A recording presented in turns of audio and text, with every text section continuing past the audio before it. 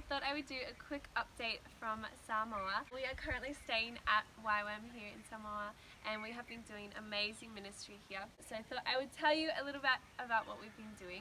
The reason that we came to Samoa is because the Pacific Games were held here this year.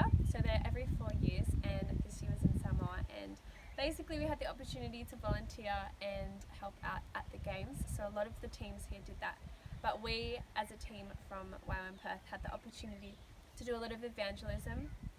Did you see the butterfly? Mm-hmm. There are a lot of people here, um, a lot of tourists and a lot of people to watch the games. So we have been talking to a lot of locals and a lot of people and sharing the gospel, sharing about Jesus.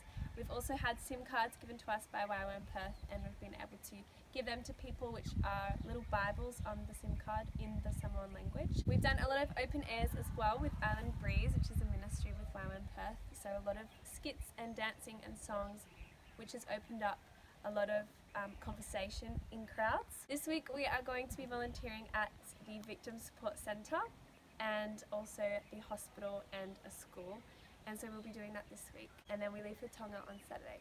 So already it's been so amazing. I do not want to leave. We are in love with Samoa and people here.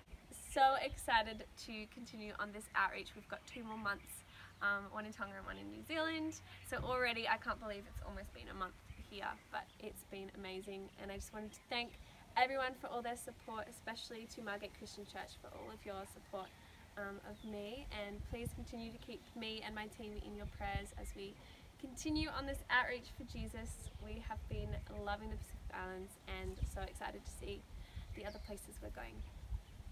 Bye!